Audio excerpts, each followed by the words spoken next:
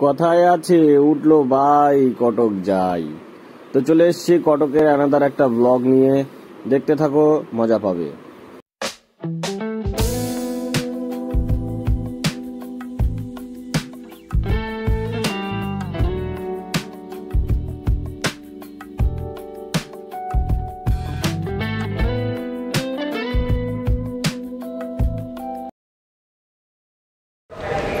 চলে এসেছি এনাদার একটা ব্লগে এবার হচ্ছে মিশন কি বলা যায়? Mission Cuttack. Mission Cuttack mission Orissa সব একসঙ্গে। আমাদের ট্রেন জনশতাব্দী অলরেডি এসে গেছে। একটু পরে ট্রেনের রিভিউ দিয়ে দেবো। এই ব্লগের মূলত প্রধান উদ্দেশ্য হচ্ছে, বাকি সমস্ত ক্যান্ডিডেট যারা রেলের গ্রুপটি দিতে যাবে, তাদের হোটেল তাদের খাওয়া দাওয়া সমস্ত কিছু যাতে সহজে চলে আসে। মানে তারা সহজে ভিডিওটা দেখে যাতে গাইড হয়ে যায় তাদের। কীভাবে তারা সহজে কটকে পৌঁছাবে এবং পরীক্ষা দেবে এই ব্লগটা বানানোর মূলত পারপাস এটাই। এবার আমাদের স্যার খাওয়া দাওয়ার ভিডিও করবে। গ্রুপ ডির পরীক্ষা থেকেও মেন আমাদের উদ্দেশ্য হচ্ছে পুরী ঘোরা এবং কটকটাকে পুরো ঘুরে দেখানো আপনাদের সামনে। আর আমাদের খাবার দাবার সব চ্যানেল আমার চ্যানেলে দেখতে পাবেন। আমাদের হচ্ছে পেটুক ঘোষবাবু চ্যানেলে সব কিছু দেখতে পাবেন। হ্যাঁ চলো এবার দেখানো যাক। আমাদের ট্রেনের রিভিউটা কত কত সুন্দর হচ্ছে। আমাদের সুজয়বাবু, পরীক্ষার্থী সুজয়বাবু। কেমন লাগছে পরীক্ষার্থী ভালো লাগছে? প্রিপারেশন ভালো আছে তো? চলো দেখা যাক। আমাদের ট্রেন জনশতাব্দী। দেখা যাক আমাদের সিট এই তো ঠিক আছে। এটা আমাদের সিট তো? Ninety one ninety two windows আছে। ট্রেন মোটামুটি পরিষ্কার পরিচ্ছন্নই ছিল, যা একেবারে খারাপ রেটিং দেওয়া যায় না। কিন্তু বাথরুমগুলো একটু অপরিষ্কার ছিল, যেগুলো আর ক্যামেরায় দেখানো গেল না।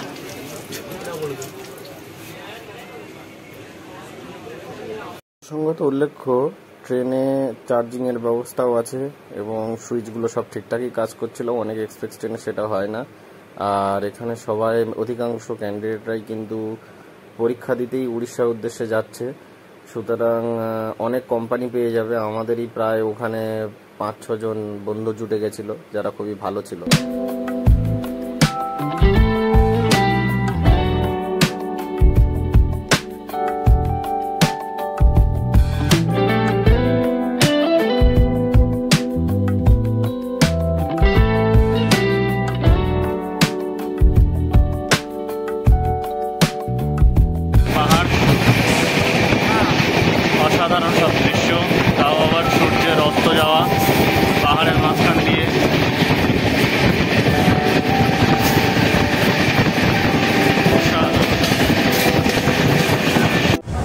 অলরেডি ট্রেনের মধ্যে সাত ঘণ্টা অতিবাহিত। একটা পনেরোয়, একটা পঁচিশে ট্রেন ছেড়েছিল। আর এখন অলরেডি বাজছে সাতটা তিরিশ। বসে বসে হাত পা পা সব ব্যথা হয়ে যাচ্ছে। জানি না কখন নামবো, কিন্তু ওভারঅল জনশতাব্দী এক্সপ্রেসের যে রিভিউ সেটা খুব একটা ভালো না। এটা সন্ধ্যে সাতটা দশে নামানোর কথা ছিল জনশতাব্দী কটকে। কিন্তু এখনও অবধি যা ভাব, তাতে প্রায় পঁয়ত্রিশ থেকে চল্লিশ মিনিট লেট সুতরাং টাইম ম্যানেজমেন্ট করতে একটু অসুবিধা হবে। আর ম্যাক্সিমাম যেটা হচ্ছে প্রবলেম সেটা হচ্ছে বাথরুমগুলো একটু অপরিষ্কার আছে। সুতরাং ট্রেনের রিভিউ দশে পাঁচও দেওয়া মুশকিল।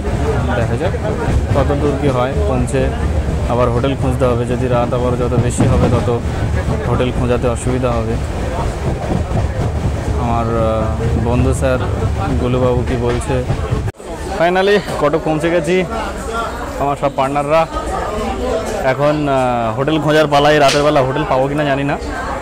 এখন খুঁজতে হবে খুঁজতে হবে খুঁজে খুঁজে দেখতে হবে কতটা দূরে গিয়ে হোটেল পাবো। আমাদের ট্রেন দাঁড়িয়ে আছে ব্যাকগ্রাউন্ডে ট্রেনের রিভিউ তো আগেই দিয়ে দেওয়া হয়ে গেছে। ট্রেনের রিভিউ খুব একটা ভালো নয়। প্রচুর লেট সাতটা দশে নামানোর কথা নামালো সাতটা সাতটা পঞ্চাশ। প্রায়। দাদা কটকে নেমে কেমন লাগছে? খুব সুন্দর স্টেশন অনেকদিন পরে একটু ঘুরতে আসলাম। উড়িষ্যাতে নেমে এবার আমাদের নেক্সট ডেস্টিনেশন হচ্ছে বাদামবাড়ি। এখানে আমরা অনেক হোটেল টুকটাক খুঁজেছি, কিন্তু কোনো হোটেলই অ্যাভেলেবেল ছিল না। তো যার জন্য আমাদেরকে বাদামবাড়ির উদ্দেশ্যে যেতে হচ্ছে। ওখানে খুব সহজে কম পয়সায় রুম পেয়ে যাব আশা করছি। অটোওয়ালাদের কথা শুনে দেখা যাক কমছে কতদূর কি পাই। উড়িষ্যা যেন উড়িষ্যার কটক মনে হচ্ছে যেন অনেকটা মানে কি বলব, পরিষ্কার পরিচ্ছন্ন কলকাতা থেকে। কি স্যার? কম বেশি টুকটাক। আমরা এখন যাচ্ছি বাদাম বাড়ি জানি না কী হবে। স্টেশন কটক থেকে আমরা সরাসরি অটো নিয়ে চলে এসেছি বাদামবাড়ির মোড়। এখান থেকে আবার আমাদের ব্যাকে যেতে হবে মেহতাব রোড বলে। ওখানে আমাদের হোটেল নিতে হবে। হোটেল ওখানে খুঁজে আমরা তারপরে খাওয়া দাওয়া করব। এখন দেখা যাক ওখানে হোটেল খুঁজতে আবার কত সময় লাগে? এখানে বিভিন্ন হোটেলে বিভিন্ন রকম রেট বলছে আমরা সব থেকে চিপে থাকার জন্য চেষ্টা করব। তো আমরা সেই চেষ্টাই করছি। দেখা যাক ভিতরে গিয়ে মেহতাব রোডে যেতে হবে এখন। মেহতাব রোডে গিয়ে দেখতে হবে আমাদেরকে কতদূর কী করা যায় না করা যায়। উড়িষ্যাতেও দুর্গাপুজোর প্যান্ডেল তৈরি হচ্ছে। এটা বাদামবাড়ি থেকে একটু পিছিয়ে এসে মেহতাব রোডে যাব আমরা এখন। এই দুর্গাপুজোর প্যান্ডেল থেকে সোজা ডান দিকে গেলেই মেহতাব রোড মেহতাব রোডে। ঢুকেই অনেকগুলো পরপর হোটেল আছে। সেই হোটেলগুলো তোমাদেরকে বার্গেনিং করে নিতে হবে। এখানে তিনশো টাকা থেকে পার হেড আড়াইশো টাকা, দুশো পঁচিশ, দুশো, একশো পঁচাত্তর এরকমভাবে রুম পাওয়া যায়। যদি চার পাঁচজন থাকো তাহলে তো বার্গেনিং করে অনেক কমে হয়ে যাবে। আমরা চারজন ছিলাম, আটশো টাকা দিয়েছি একটা ডরমেটরি রুম একটা বড় বেড লার্জ সাইজ যেখানে চারজনের হয়ে যাবে এরকম একটা রুম নিয়ে নিয়েছি। এছাড়াও এই লাইনে হোটেল জগন্নাথ হোটেল মায়া। ওই হোটেলটার নাম কি দাদা?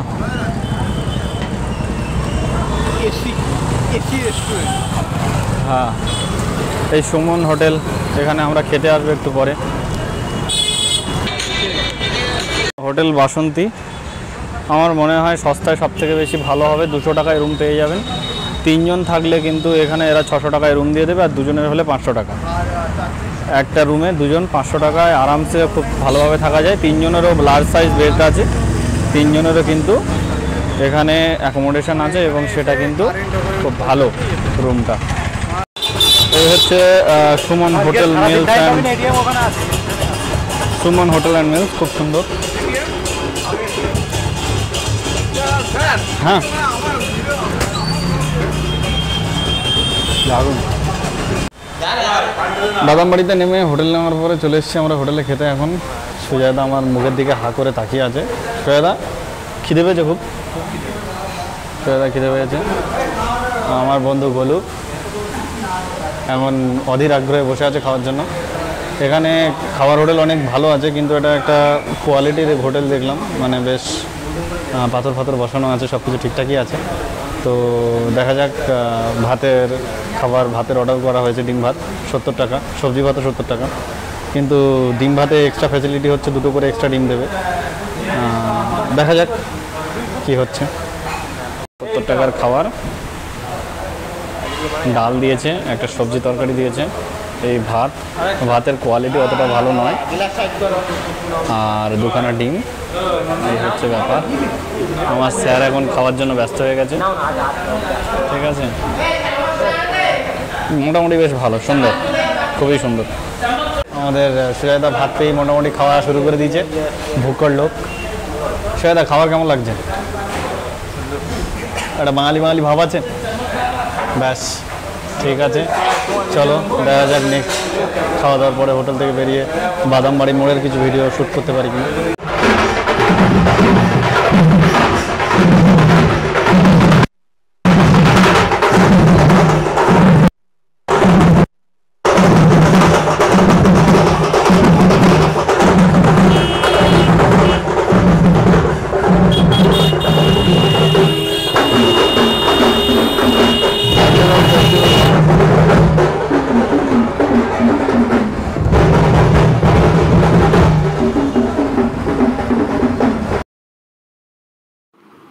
বাদামবাড়ি পৌঁছে দেখলাম তেলেগু ফেস্টিভ্যাল পোঙ্গল শুরু হয়ে গেছে, যেখানে ভগবানকে ওরা সঙ্গে নিয়ে বাড়িতে যাচ্ছে। আমরা ন্যাচারালি কালী ঠাকুর দেখি, কিন্তু এখানে দেখলাম জীবন্ত কালী ঠাকুর। কেউ একজন সেজেছে, আর বেশ সুন্দর ছিল পুরো ব্যাপার। দাদা আমাদের পরীক্ষার্থী বেরিয়ে যাচ্ছে। রুমের রিভিউটা একবার দেখানো উচিত ছিল, এই হচ্ছে আমাদের চারশো টাকার রুম। মোটামুটি এসি লাগানো আছে, কিন্তু এসি চলে না। সব কিছু মোটামুটি টিভি টিভি সবই আছে। আর এই বেডের অবস্থা। এবার আমরা বেরিয়ে যাব। সকালবেলা আমরা বেরিয়ে পড়লাম পরীক্ষার উদ্দেশ্যে, কিন্তু তার আগে আমরা ব্রেকফাস্ট করে নেব। সেই জন্য আমরা একটা বাঙালি হোটেল খুঁজছি। তো বাঙালি হোটেল আমরা পেয়েও গেলাম দেখতে দেখতে। ওখানে খেয়ে দিয়ে নিয়ে আমরা এবার পরীক্ষার উদ্দেশ্যে আবার রওনা দেব। আবার নতুন করে অটো নিয়ে। কটকনেমে হোটেল মনোরমা বেস্ট চয়েস হবে মনে হয় বাঙালিদের জন্য। হোটেল মনোরমা বাঙালিদের জন্য বেস্ট চয়েস আমাদের পার্টনাররা সব ঢুকে গেছে। মাছ ভাতের অর্ডার করেছে তো সুজাদা দুপুরের মিল রেডি হোটেল মনোরমা থেকে। মাছ ভাত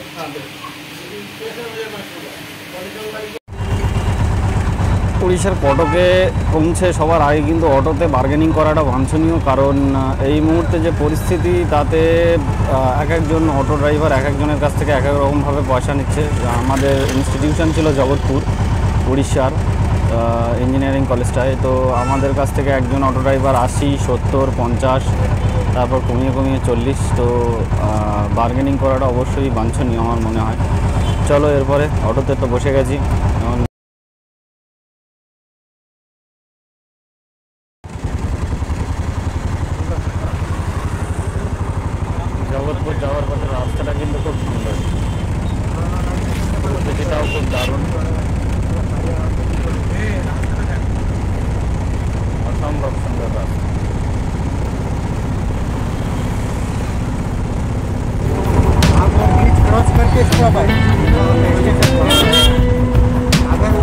প্ল্যাটফর্ম আমরা উঠে গেছি মহানদী ব্রিজের উপরে।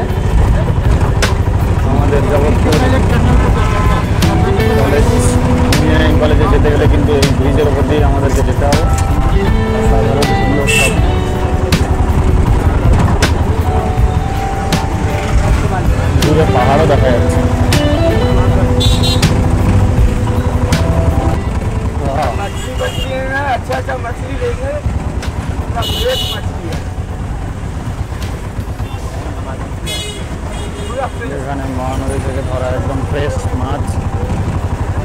अच्छा।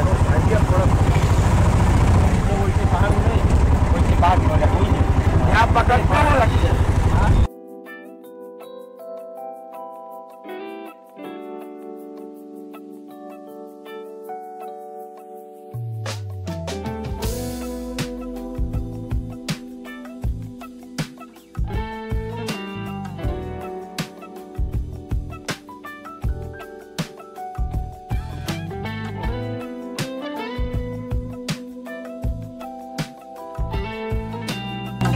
ফাইনালি পৌঁছে গেছি Jagannath engineering institute of technology. পরীক্ষা আছে বেশি ব্লগ বানানোর মতো সময় নেই, পরিস্থিতি নেই। তো এখানেই ভিডিওটা শেষ করছি।